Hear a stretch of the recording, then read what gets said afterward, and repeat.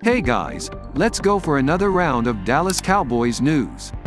If you are a big fan, please subscribe and leave a like. Tell me in the comments which city you watch this video from. Cowboys Leighton Vander Esch gets positive injury update from Mike McCarthy.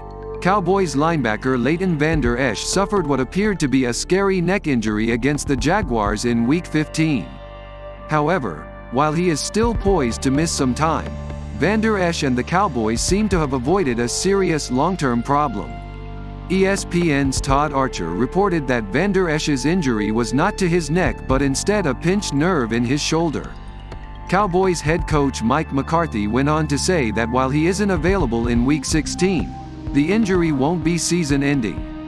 ESPN's Todd Archer reported that Vander Esch's injury was not to his neck but instead a pinched nerve in his shoulder. Cowboys head coach Mike McCarthy went on to say that while he isn't available in Week 16, the injury won't be season-ending. ESPN's Todd Archer reported that Vander Esch's injury was not to his neck but instead a pinched nerve in his shoulder. Cowboys head coach Mike McCarthy went on to say that while he isn't available in Week 16, the injury won't be season-ending.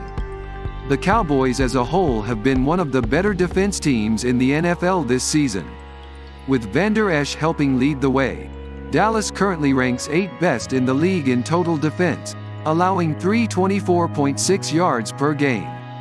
There is still no timetable for when the Cowboys linebacker might return to the field.